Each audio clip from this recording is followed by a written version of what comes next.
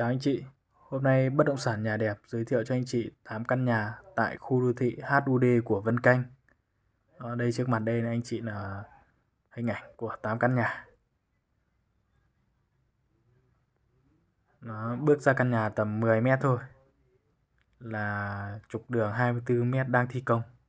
Đó như anh chị đã thấy.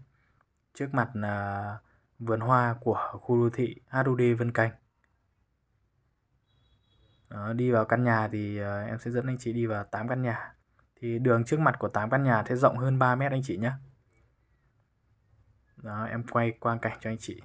Thì 8 căn nhà này thì có 4 căn là diện tích là 35 mét 4 tầng. Và hai căn kia hai căn này là diện tích là gần 40 mét 6 tầng. Đó, em đang quay cho anh chị đây là căn nhà gần 40 mét 6 tầng. Đấy, tầng 1 sẽ là phòng khách và vệ sinh. Nhà sẽ có thang máy nha anh chị nhé Đó, tiếp tới là em sẽ đưa anh chị lên tầng 2 tầng 2 thì sẽ được thiết kế là phòng khách bếp và VKC và lên tầng 3 em đưa anh chị lên tầng 3 thì uh, được thiết kế là phòng ngủ và một phòng VKC đó một phòng VKC trang bị thiết bị đầy đủ. Lên tầng 4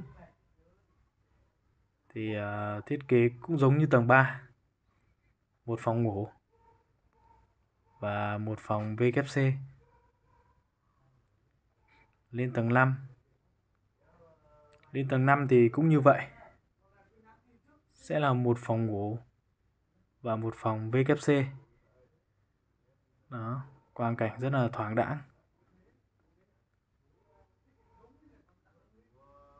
Và cuối cùng thì ờ, sẽ là lên tầng 6 tầng 6 thì sẽ được thiết kế là một phòng thờ và một sân phơi.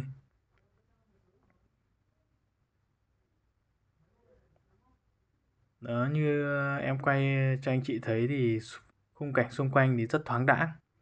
Đó, gần ngay uh, sát khu đô thị HUD của Vân Canh. Đó, anh chị có quan tâm thì ờ, liên hệ cho em số điện thoại là 0977 177 096 để em có thể tư vấn và hỗ trợ cho anh chị.